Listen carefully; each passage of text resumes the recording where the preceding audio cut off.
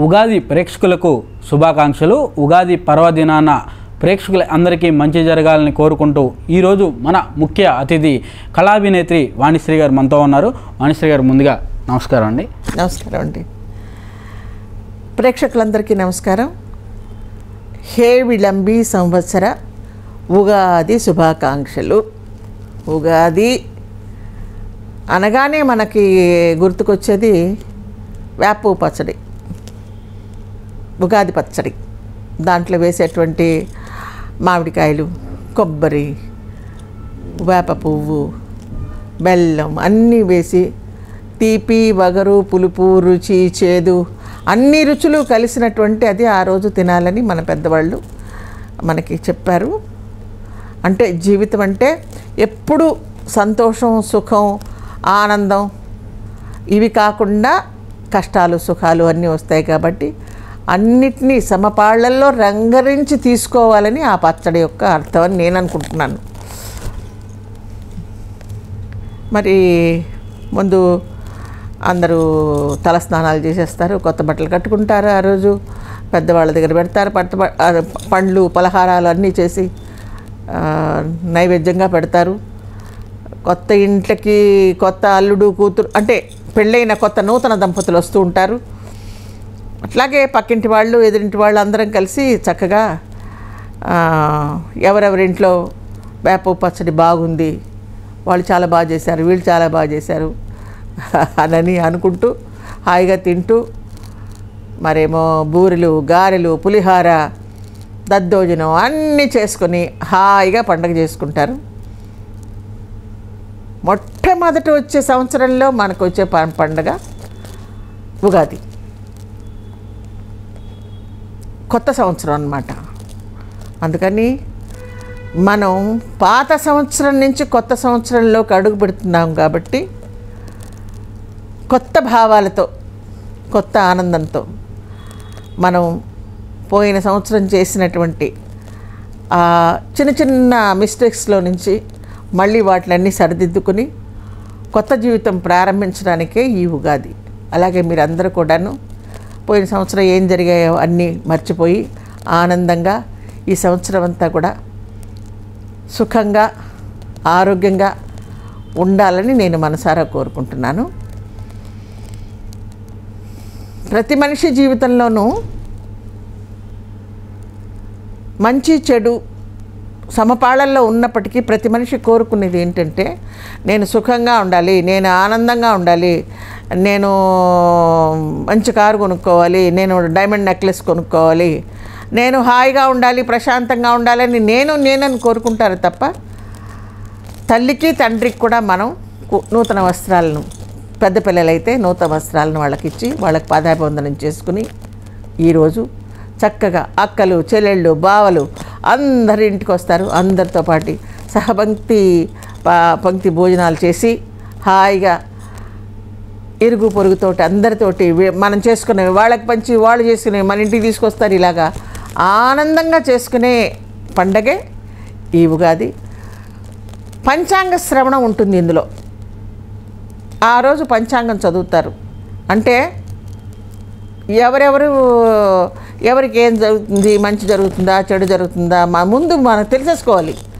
ఏ మన వాళ్ళకి ఏంటంటే రేపు ఏం జరుగుతుందో ఇవాళ తెలిసేసుకోవాలి. ఆ తర్వాత రోజు ఏం జరుగుతుందో ఇవాళ తెలిసేసుకోవాలి. అన్నీ ఇవాళ తెలుసుకోవాలి తెలుసుకోవాలనుకుంటూ ఉంటారు.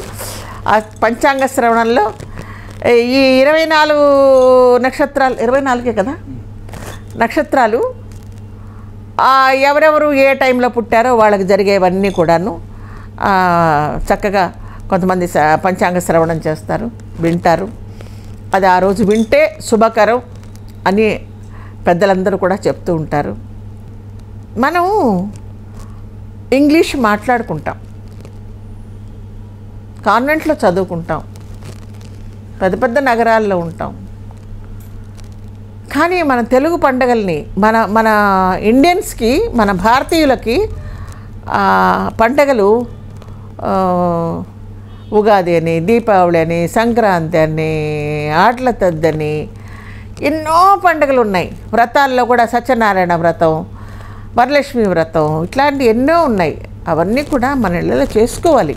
ఎందుకంటే పాశ్చాత్య దేశాలకు వెళ్ళిపోయి అక్కడ వాళ్ళు పిల్లలకి దాని అర్థం ఏంటి ఎందుకు చేసుకుంటున్నాం అనేది తెలియదు కానీ వాళ్ళు మాత్రం ఉగాది పురస్కారాలని అందరినీ పిలిచి కవుల్ని ఇక్కడి నుంచి చాలామంది పండితుల్ని తీసుకొని వేద పండితుల్ని తీసుకెళ్ళి ఉగాది పురస్కారాలు అమెరికాలోను ఇంగ్లాండ్లోను ఆస్ట్రేలియాలో కూడా చేసుకుంటున్నారు. కొంచెం ఇండియాలో ఉన్న వాళ్ళే మనమే కొంచెం కొంచెం మర్చిపోతున్నామేమో అని అనిపిస్తుంది. మర్చిపోవద్దు.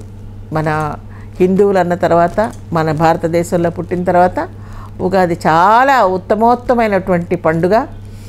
మళ్ళీ పంచపక్ష ప- అన్ని పండగలకి తింటాం కానీ ఉగాది పచ్చడి మాత్రం ఉగాది రోజే తింటాం. కాబట్టి దానికి చాలా విలువ ఉంది. అదొక్కటే కాదు ఉగాది పచ్చడి ఎందుకు తినాలి అంటే అన్ని దాంట్లో కొత్త వస్తువులు పడతాయి. వేప పువ్వు నలతలు రోగాలు రాకుండా ఈ ఎండాకాలం మొదలవుతుంది కాబట్టి చలవ చేయడం కోసం జబ్బు చేయకుండా ఉండడం కోసం మనకి ఆ పచ్చడిలో అన్నీ కలుపుతారనమాట ఇప్పుడు మరి అందరూ చేస్తున్నారో లేదో అమెరికాకి వేప పువ్వు కూడా అమెరికాకి ఇక్కడి నుంచి పంపుతున్నారట. ఎక్స్పోర్ట్ చేస్తున్నారు అందరూ.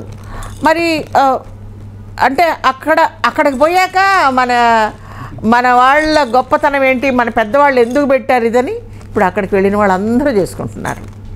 అట్లాగా మన ఈ ఊళ్ళో ఉండి మనం వేప పువ్వుని ఎందుకులే అని అనుకోవద్దు.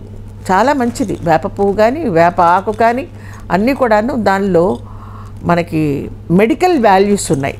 అందుకని మనం అవి వాడాలి. అలాగే ఆ వేప పువ్వు తిన్న తిన్నప్పుడు కొంచెం చేదుగా ఉంటుంది. జీవితంలో కూడా కొంచెం చేదు ఉంటుంది. అందరి జీవితాలు ఎప్పుడు తీయగా ఉంటే వెగట వచ్చేస్తుంది.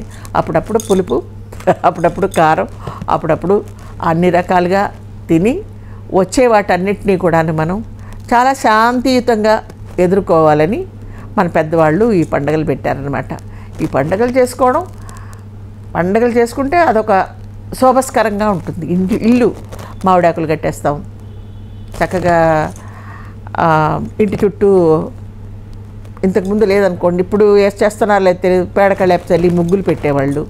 పండగ అంటే ఇంట్లో కూడా పిండి ముగ్గులు పెట్టేవాళ్ళు. చక్కగా హాయిగా కొత్త బట్టలు ఉన్న ఉన్నంతలోనే ఎవరికి శక్తికి తగ్గట్టు వాళ్ళు కొత్త బట్టలు వేసుకునేవాళ్ళు. మరి కొత్తగా పెళ్ళైన నూతన దంపతుల్ని అత్తగారింటికి తొలి ఉగాది అని తీసుకొచ్చి వాళ్ళకి ఏం చేయాలో అన్నీ చేసేవాళ్ళు. ఇదంతా కూడాను భారతీయ సంస్కృతి. దీన్ని మర్చిపోకూడదు మనం. ఎందుకంటే భక్తి శుభ్రత దయాధర్మ గుణాలు ఎటువంటి భోజనం చేయాలి అనేది వీటన్నిటినీ కలగలిపి ఒక తాడుగా పేనినదే భారతీయత. భారతీయత అంటే దేవుడు ఉంటాడు అందులో. శుభ్రత ఉంటుంది. దయాధర్మ గుణాలు ఉంటాయి. ఇవన్నీ కలిపి కలబోసి అన్నమాట. కలబోసి ఒక తాడులా పేనినదే భారతీయత. ఈ భారతీయులుగా మనం పుట్టడానికి ఎంత అదృష్టం చేసుకున్నామా అని అనిపిస్తుంటుంది నాకు. నేను సినిమాల్లో నటించేటప్పుడు పెద్దగా నాకు తెలిసేది కాదు కానీ తర్వాత తీరిక వేళల్లో ఇట్లాంటి పుస్తకాలు చదువుకుని చాలామంది పెద్దలు మాట్లాడేటప్పుడు ఆ మాటలు విని ఆహా ఇందులో ఇంత ఇది ఉందా? అని అనుకుని మన భారతీయులంటే మన మీద మనకే గౌరవం కలిగేలాగా. ఇప్పుడు చూడండి ఇప్పుడు యోగా డే అని మనది మన మన భారతీయుల దీని గురించి ప్రపంచ ఎంత ప్రాచుర్యం పొందింది యోగా? మనం చేస్తున్నాము? ఒకసారి ఆలోచించి చేయాలి చేసుకోవాలి. ఎందుకంటే మన పెద్దవాళ్ళు అన్నీ పెట్టారు మనకి. భారతీయ భారతీయ సాంప్రదాయంలో యోగా ఉంది. పెద్దల్ని గౌరవించడం ఉంది. ఫాదర్స్ డే మదర్స్ డే అని ఎవరో చెప్పడం కాదు. రోజు మనం చెప్పేది ఏంటంటే తల్లి తండ్రి గురువు దైవం. వీళ్ళని నువ్వు ఎప్పుడు నమస్కరించి నీ పనులు నువ్వు ప్రారంభిస్తావో నీకంతా శుభమే జరుగుతుంది. అనని పెద్దవాళ్ళు చెప్పారు. వాళ్ళు ఎవరో చెప్పారని మదర్స్ డే కాదు ప్రతిరోజు మనం మ- మదర్స్ డే చేసుకోవచ్చు. తల్లికి మనం బయటకు వెళ్ళేటప్పుడు దండం పెట్టుకుని వెళ్ళొచ్చు. తండ్రిని కూడా అలాగే. ఇక చెప్పాలంటే భారతీయతను గురించి ఒక అరగంటలో చెప్పేసేయండి. అంటే వీలు కాదు. ఎందుకంటే చాలా ఉన్నాయి. ఒక పండగే కాదు. అంటే మొదటి పండగ ఇది కాబట్టి నేను ఇక్కడ ఉన్నాను కాబట్టి మీ అందరికీ నూతన సంవత్సర తెలుగు నూతన సంవత్సర శుభాకాంక్షలు చెప్తూ ఇట్లాంటి ఒక అవకాశం నాకు ఇచ్చినటువంటి అంటే ఈరోజు నేను ఇక్కడ ఉన్నానంటే దానికి చాలామంది విజయవాడలో ఉన్నటువంటి చాలామంది కూడా దీనికి కారణం. నన్ను వేరే దీనికోసం పిలిపించారు కానీ దీనిలో కూడా నాకు పాలు పంచుకునే అవకాశాన్ని ఇచ్చారు. Once again and I'm telling you Telugu Ugadi Hevilambi సంవత్సర శుభాకాంక్షలు. గతంలో విజయవాడ మీరు పలుసార్లు వచ్చి ఉంటారు అప్పుడు వచ్చినప్పుడు విజయవాడకి ప్రస్తుతం మీరు వచ్చి ఇప్పుడు చూస్తున్న విజయవాడకి ఏమన్నా మార్పు కనపడుతుందా? అసలు మీకు ఏమనిపించింది? నాకు విజయవాడ అంటేనే చాలా ఇష్టం అండి. మేము శతదినోత్సవాలకి ఏదైనా పల్లెటూరు వాతావరణంలో తీయాలంటే అట్లాగే వచ్చేవాళ్ళం. అప్పుడు చాలా బాగుండేది. అప్పుడు ఇక్కడ మొట్టమొదటిసారిగా నేను తాటాకు బుట్టలు చిన్న చిన్న బుట్టలు చూశాను. ఆ బుట్టల్లో చక్కెరకేళి అరటిపళ్ళు తెచ్చేవాళ్ళు. ఆ బుట్టల్లో పువ్వులు తెచ్చేవాళ్ళు. ఆ బుట్టల్లోనే మామిడి పళ్ళు తెచ్చేవాళ్ళు. చిన్న చిన్న రసాలని అవని ఇవని. తర్వాత మేము ఇక్కడికి వచ్చినప్పుడు విజయవాడలో అప్పుడు కొన్ని వందల కోట్ల బిజినెస్ సినిమా ఇండస్ట్రీ బిజినెస్ విజయవాడలోనే జరిగేది. లింకప్ ఒకటి ఉండేదండి. ఇండస్ట్రీకి విజయవాడకి ఒక శతదినోత్సవం కానీ లేకపోతే సినీ కాదండి. మనకి మొత్తం నవిగా ఫిలిమ్స్ అని లక్ష్మీ ఫిలిమ్స్ అని పూర్ణ పిక్చర్స్ అని తర్వాత విజయ పిక్చర్స్ అని ఇలాగా డిస్ట్రిబ్యూటింగ్ సంస్థలన్నీ విజయవాడలో ఉండేవి. అందువల్ల మేము వస్తే మాకేదో ఒక పండగ. పొద్దున్నే ఓ బుట్టెడు మల్లెపూలు ఓ బుట్టెడు చక్కెరకేళి అరటిపండ్లు బయలుదేరడానికి ముందు పచ్చిమిరపకాయ బజ్జీలు సాయంకాలం అవగానే అవి తర్వాత ఏమో బాబాయ్ హోటల్ నుంచి ఇడ్లీలు తర్వాత ఏమో చాలా విషయాల్లో అంత ఎంత ఆప్యాయత ఎంత మాకు అసలు మద్రాసు నగరంలో మాకు అంత ఆప్యాయత దొరికేది కాదు. ఇక్కడికి వచ్చాక విజయవాడలో అంత బాగా హ్యాపీగా ఉండేవాళ్ళం. నేను తరచూ అప్పుడప్పుడు వస్తూనే ఉన్నాను. సావిత్రి గారి విగ్రహావిష్కరణ కోసం నన్ను మళ్ళీ విజయలక్ష్మి గారు మీరు రావాలంటే అమ్మ నేను అన్నీ మా అనుకుని హరిద్వార్కి వెళ్ళిపోయాను. మీరు ఎందుకు నన్ను పిలుస్తున్నారు? ఇప్పుడు అని అడిగితే లేదండి మీరు రావాలి. మీరైతేనే అది చాలా ఇదిగా ఉంటుందని సావిత్రి గారి కూతురును విజయలక్ష్మి గారు నన్ను ఇక్కడికి పిలిపించారు. అప్పటి నుంచి తరచూ ఏదో ఒక రూపేణ ఏదో ఒక ఫంక్షన్ పెట్టి నన్ను పిలుస్తూనే ఉన్నారు.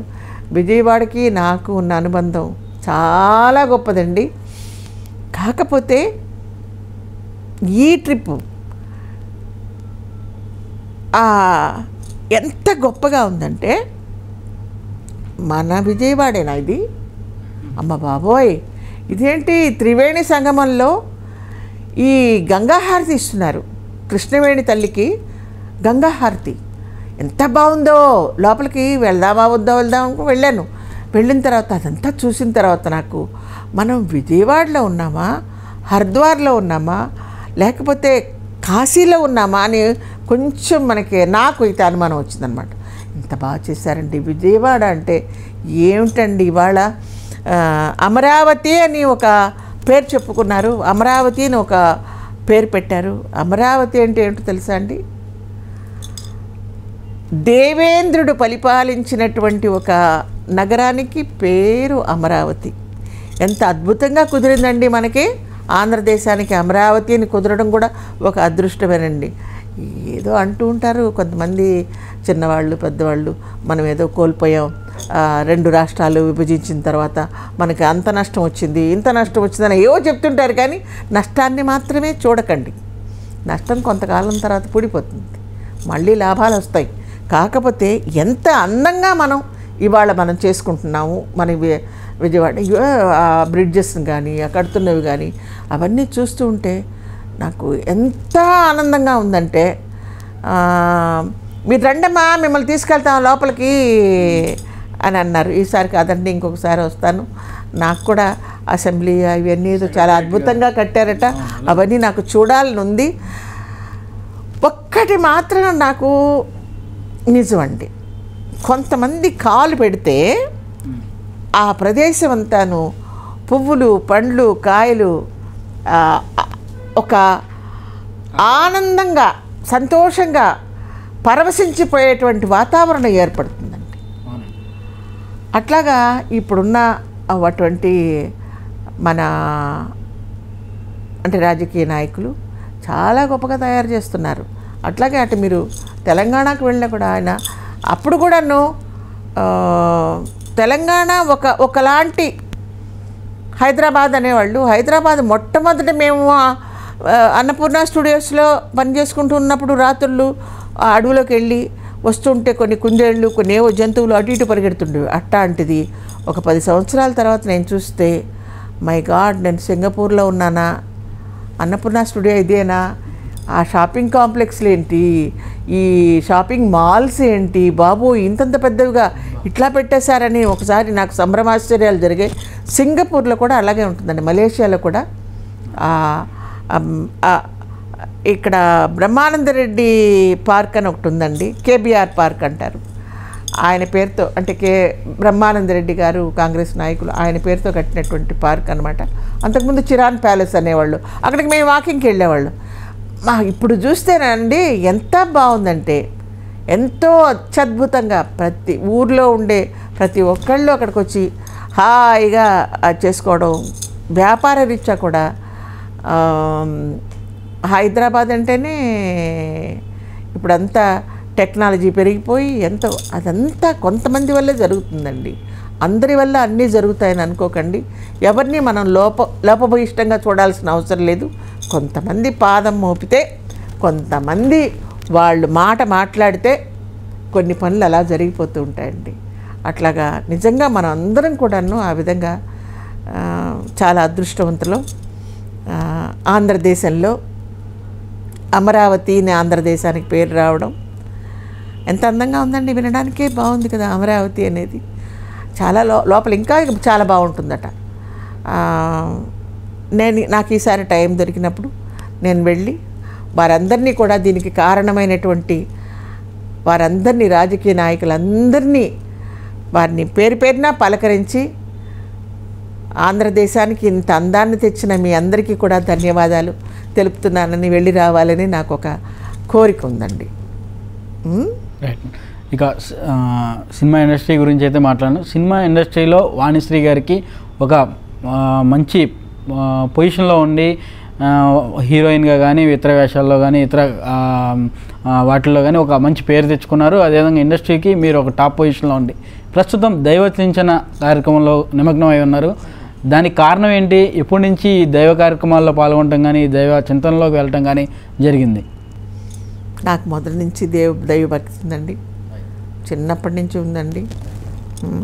నన్ను చిన్నప్పటి నుంచి విఘ్నేశ్వరుడు పూజ చేసుకునేదాన్ని. మాకు స్కూల్లోనే మొదలు పెడతారండి. ఓ భజ గణపయ్య నీవంటు నేనయ్య ఉండ్రాళ్ళ మీదకి దండ పంపు అని శుక్లాంబరధరం విష్ణు శశివర్ణం చతుర్భుజం అట్లా ప్రారంభమైందండి. తర్వాత చదువుకునేటప్పుడు మార్నింగ్ ప్రేయర్లో జ్ఞానానందమైన దేవం నిర్మల స్ఫటికాకృతిం ఆధారం సర్వ విజ్ఞానం హయోగ్రీవం పాస్మహే. ఇట్లాంటి శ్లోకాలన్నీ మా చేత ఆ రోజుల్లో చెప్పించేవారండి. అప్పటి నుంచే ఆధ్యాత్మికత అంటే దాని పూర్తి అర్థం దాని విశాలత్వం మాకు తెలియకపోయి ఉండొచ్చు. కానీ ఇప్పుడు అన్ని పనులు పూర్తి చేసుకొని ఎన్నాళ్ళు సినిమాల్లో సినిమాల్లోనే నటిస్తూ సినిమాల్లోనే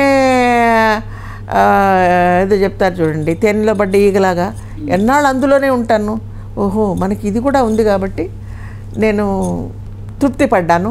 నాకు వచ్చినటువంటి క్యారెక్టర్స్ కానివ్వండి నేను నాకు ఇచ్చిన పాత్రలు డైరెక్టర్లు అందరూ కూడాను చాలా చేశారు.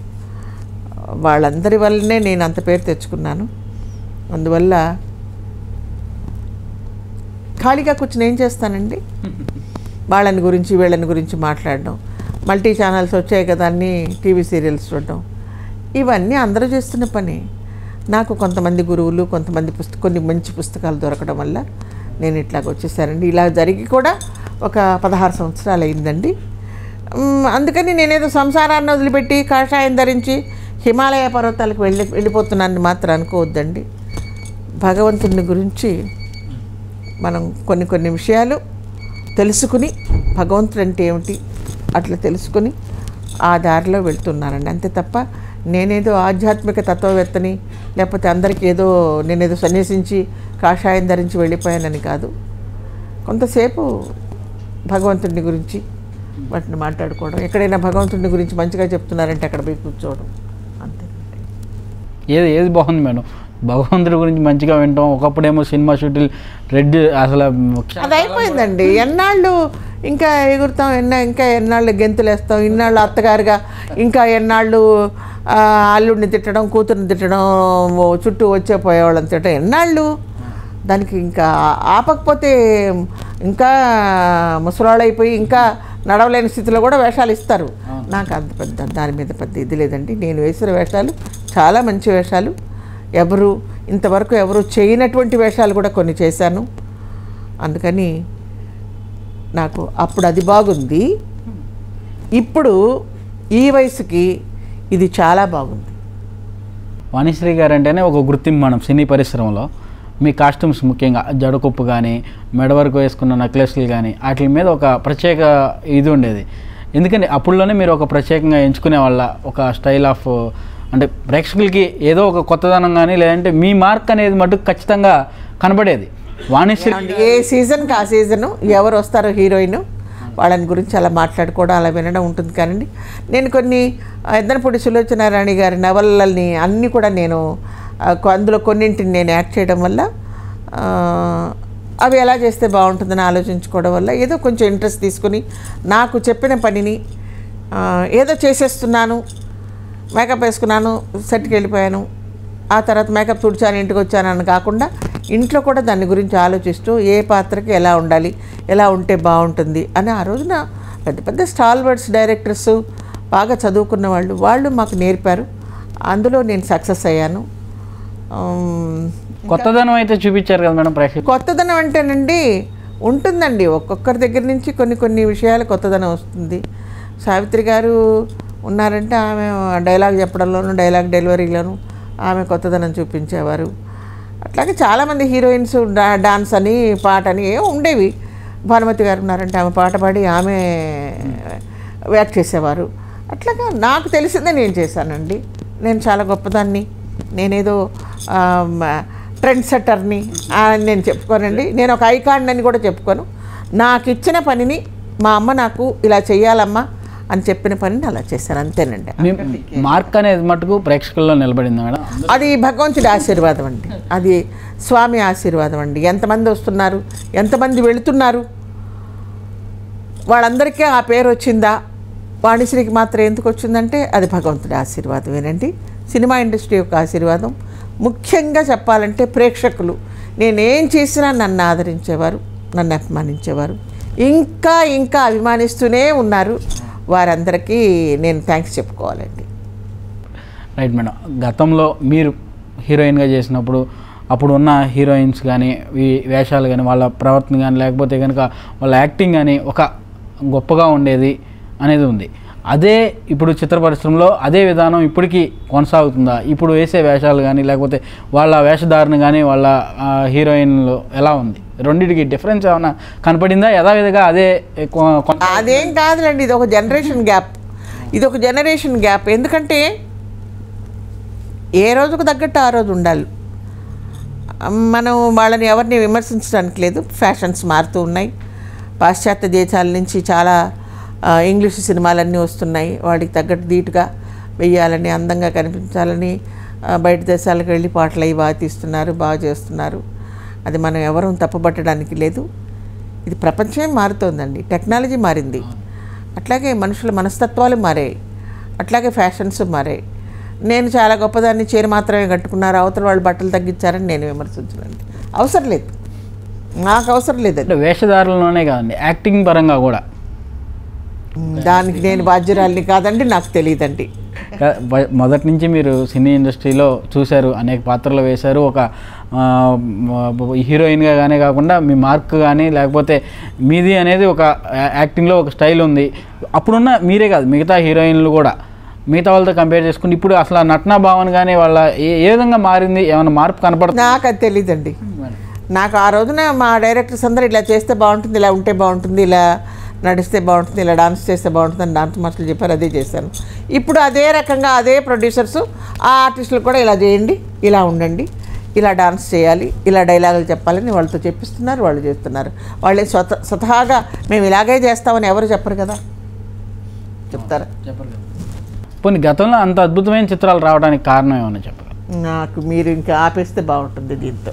ప్లీజ్ ప్లీజ్ ఇది ఇప్పటి వరకు మన ముఖ్య అతిథి వాణిశ్రీ గారు చెప్పిన విషయాలు. అప్పుడు సినీ పరిశ్రమ కానీ ఉగాది పర్వదినాన్ని పండుగను ఏ విధంగా జరుపుకోవాలి ప్రేక్షకులందరూ ఏ విధంగా మంచి జరగడానికి ఏ విధమైన పూజా కార్యక్రమాలు చేయాలి ఈ ఉగాదిని పురస్కరించి కానీ అదేవిధంగా గతంలో ఉన్న సినీ పరిశ్రమ గురించి కానీ మన విజయవాడ పారుతున్న అమరావతి గురించి కానీ ఇప్పటి వరకు మనతో చెప్పడం జరిగింది. ఇది ఈ కార్యక్రమం. ఇంతటితో ఈ కార్యక్రమం నమస్కారం.